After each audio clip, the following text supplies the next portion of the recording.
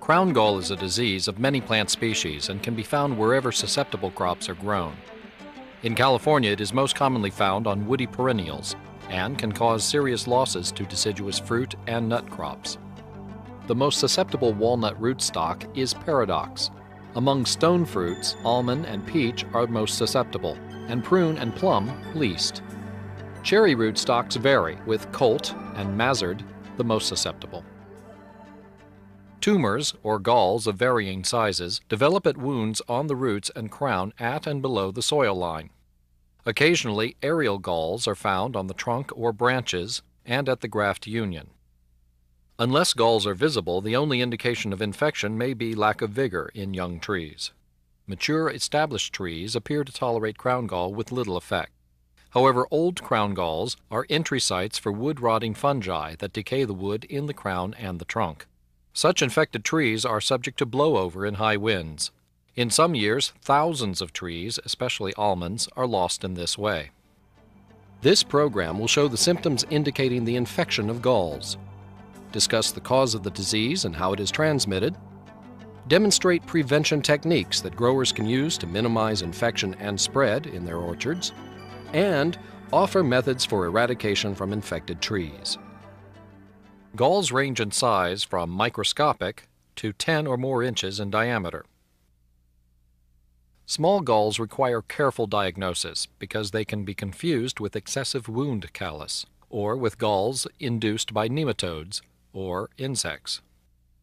The surface of young galls is smooth, but as the gall ages it becomes rough and cracked. In the older gall, the center decays, leaving a ring of gnarled tissue. A gall is composed of disorganized and undifferentiated plant cells. The texture varies from soft and spongy to hard, depending on the amount of vascular tissues involved. The tree will suffer damage if a gall disrupts a large portion of the vascular tissues, thereby interfering with the movement of water and nutrients through the tree. Trees that are severely infected when young grow poorly and may die. Galls are caused by a soil-borne bacterium. The pathogen, Agrobacterium tumefaciens, is the culprit. The species includes both pathogenic and non-pathogenic strains. Non-pathogenic strains are common members of the soil microflora and may be found in great numbers in soil. It is the pathogenic strains that are more closely associated with plants, either in galls or surviving on the root surfaces of host and non-host species. The bacteria infect either through natural openings or through wounds. Natural openings include sites where lateral roots emerge and growth cracks. Frost injury may also be an infection site. Wounds can result from digging trees in the nursery, pruning, and cultivation. The pathogen survives for long periods in healthy gall tissue and has been reported to persist in fallow soil for one to two years, perhaps in association with organic debris. Circumstantial evidence suggests that the crown gall bacterium can be transmitted on asymptomatic trees from the nursery to the grower's field. Because these trees have no visible galls, they are not culled at the nursery. Infections can occur either in the nursery or the grower's field. If the temperature is between 68 and 86 degrees Fahrenheit, galls will first appear as small outgrowths. This is usually within two to four weeks of infection. Infected sites remain asymptomatic if temperatures are below 59 degrees Fahrenheit at the time of and following infection. These latent infections usually develop into galls the next growing season.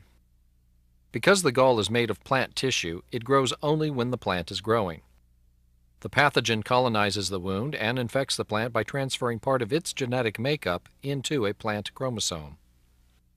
The pathogen genes then instruct the plant cell to produce hormones that cause disruption of normal plant cell growth. Because all the information needed for gall formation is then inside the plant cells, galls can continue growing without further presence of the pathogen. An integrated approach to preventing and controlling crown gall is important. First, select a nursery that has a low incidence of crown gall. For crown gall prevention, it is important to avoid causing wounds at all stages of handling trees. This includes from nursery to cold storage, from cold storage to grower, while transporting to the field for planting, during planting, and after planting. Preventing infection should be the guiding principle in the management of crown gall, beginning at the nursery. Before ordering trees or seedling rootstocks, choose the nursery carefully. Nurseries are required to cull infected trees. Even so, you should inspect all trees you get from the nursery for any signs of galls. If you have a history of crown gall in your field, you might also consider planting less susceptible rootstocks where possible. When replanting an orchard or an individual tree, you may want to locate the new planting sites away from the old tree sites. And finally, there are two application treatments available to help in crown gall management. The first is a pre-plant treatment you can do when the tree first arrives from the nursery. The second is to treat the gall after it has formed. This can be very difficult and time-consuming. As with many problems, prevention is the best policy and that's why you are urged to avoid all root and crown injuries at all times. Beginning with the rootstock before it is planted, a biological control agent can be used. This involves applying a bacterium to the crown and roots that is similar to the pathogen but instead protects the plant from infection. This biological control agent is known as strain K84 and sold commercially as Galltrol or Norbac.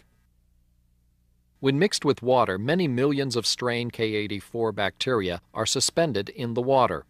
This suspension is applied to the roots and crown by spray or dip, and the bacteria colonize the wounds, thus protecting them from infection.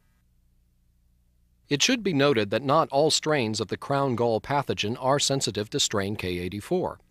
In addition, K84 only prevents new infections and will not affect trees that are already colonized by the crown gall bacterium.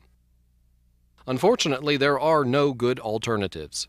Bleach, for instance, is just a quick surface sterilizer and is not an effective treatment agent if there is agrobacterium in your soil. Here are the steps to follow for pre-plant treatment. It is important to remember that the crown gall preventatives, Galltrol or Norbac, are made up of living bacteria and must be kept cool, out of direct sunlight, and never mixed with bleach to remain viable. Begin by preparing the spray mixture of the preventative at recommended rates with unchlorinated clean water at a pH of no lower than 6.0. If using Galltrol, first remove the lid from the plate and submerge in water long enough to loosen the bacteria. Then gently remove the bacterial slime without disturbing the agar beneath. The spray mixture has a limited lifespan. Premix only enough spray to handle the trees you will treat in one day.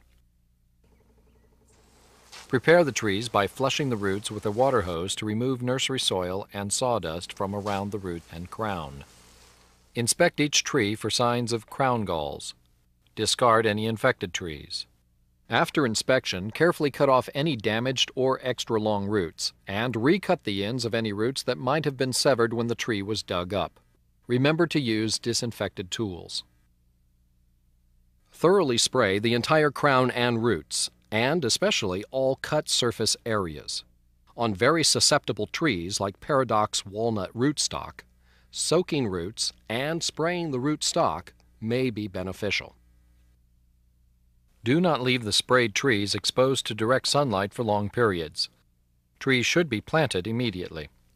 As with all other tree handling procedures, tree planting should completely avoid damaging the treated trees. Make sure the trees are not wounded by your use of planting boards, shovels, or stakes. In fact, when installing stakes, it is a good practice to place the stakes in the holes during planting rather than risk creating injuries from stakes driven into the ground after planting. The soil should be firmly placed around the roots, again without creating wounds. It is recommended to plant trees high to eliminate the need to pull trees up to grade after settling, since such repositioning can injure roots.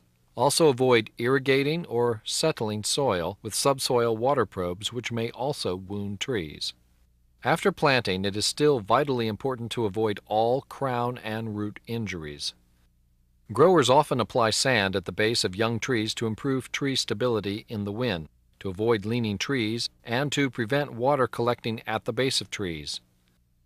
Unfortunately, this practice may also favor crown gall disease. Movement of the crown and upper roots back and forth in the wind against sharp sand or gravel particles can cut or abrade roots and allow entry of the pathogen. Alternatives to sanding include staking the trees and increasing winter and summer pruning. To avoid wounding trees, weeds should be controlled with sprays or other non-cultivation methods. Planting trees on berms further prevents disking close to the tree. Avoid the use of hoes, discs, and cultivators around tree trunks, especially in paradox-rooted walnut trees. Cultivation next to the trees greatly increases the chance of wounding and subsequent crown gall infection. With walnut in particular, applying urea ammonium nitrate as a fertilizer has the side benefit of controlling young, non-woody suckers. If necessary, on walnut and stone fruit, including almond, use shears to cut woody suckers, but be sure to disinfect your tools between trees and treat cut surfaces with Galltrol or Norbac. If those are not at hand, leave a 2 to 3 inch stub of the sucker to avoid injuries closer to the crown bark region. Return later to cut close and apply protectants. The shorter the interval between creation of the wound and treatment, the more likely the treatment will be effective. Air temperature also affects outcome. Longer intervals between wounding and treatment are less dangerous at lower temperatures. At moderate temperatures, treatment must occur within a few hours of wounding for the best control. So remember, the warmer it is, the less time you have to respond. Once you have detected the presence of galls, either visibly at or above ground level, or by the telltale ground heave that occurs at the site of some underground galls, you have a few choices to make. You will have to keep in mind that treating galls is a labor-intensive activity using costly treatment materials. Since galls often cause stunted trees, replacing young vigorous infected trees may be more economical than treatment depending on how severe the gall is. In most cases, a mid-sized tree would be treated, but if the tree is still vigorous and the gall is too extensive, it could be left alone. Stunted trees should be replaced. Often mature, vigorous growing trees may not benefit from treatment and are usually left alone. Once a gall appears at ground level, there may be extensive galled tissue on lower crown and larger roots. That is why early treatment when galls are smaller is more effective and less costly. The second treatment you can apply is based on the application of Gallex to established galls. Gallex is not a biocontrol agent and is not effective when preventing galls, but when applied carefully can help remove existing galls from trees. Treatment can be done at any time during the year, but doing it when dry is best.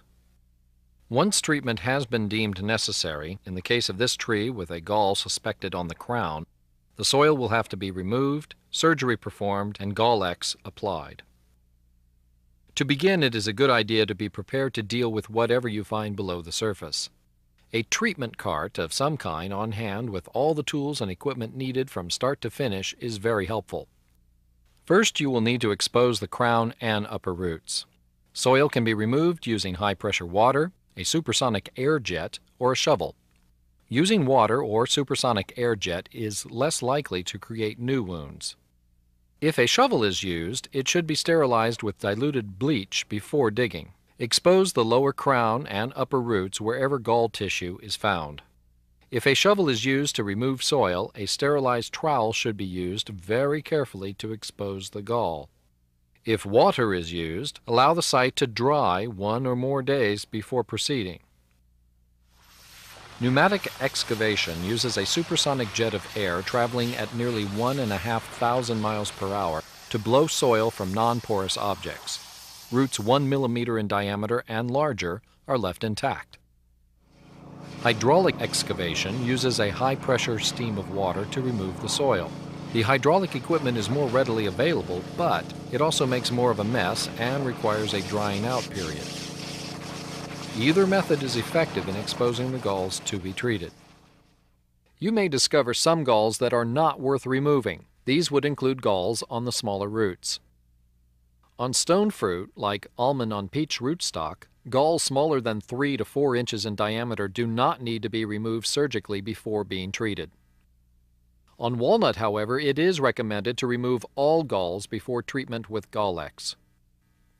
Once the site is dry, it is ready for crown gall removal. Typically, you will use a hatchet or a chisel and hammer. Remember to sterilize your tools with diluted bleach before and after use to prevent spreading the bacteria. Remove all galled tissue all the way down to healthy wood. This may take as long as one and a half to two hours where galls are extensive. Take your time and be careful not to create new wounds in any part of the tree. Once the gall is surgically removed, pick up all galls, gall chips, and pieces, since they may harbor the bacteria that caused the problem in the first place. Put the discarded material into a container and make sure it is removed from the orchard to prevent recontamination of the soil. Use a dry paintbrush to brush away dirt on the area to be treated. As with any agricultural use product, it is important to read the label on the Gallex container and follow the directions for its use. Gallex is a skin irritant, so you must wear rubber gloves and follow the instructions on the label for proper personal protective equipment and other user safety recommendations. Shake the Gallex container well. Do not dilute the product or mix it with other pesticides. Pour a small amount into a container from which you can use the paintbrush to apply the treatment. Paint the Gallex on the area where gall has been removed plus a half inch of surrounding healthy bark. Once completed, leave the site to dry one or more days. Then replace the soil. Some growers leave the site excavated without harm as long as water does not stand around the crown. Remember to sterilize all equipment again before going to the next tree for treatment. The tree should be marked and rechecked four to six months later. If all has gone well, the gall will be totally eradicated.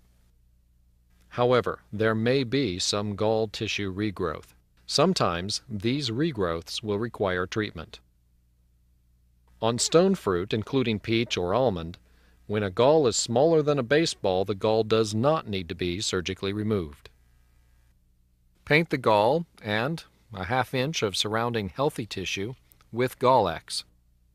Let dry and recheck the site in four to six months. There is one additional technique that has been used to address gall problems. Where galls are extensive on walnut, some growers will inarch with either Northern California black or paradox rootstock to overcome the vascular disruption caused by galls.